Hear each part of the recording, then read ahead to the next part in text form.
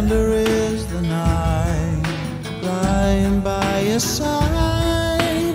Tender is the touch of someone that you love too much. Tender is the day the demons go away.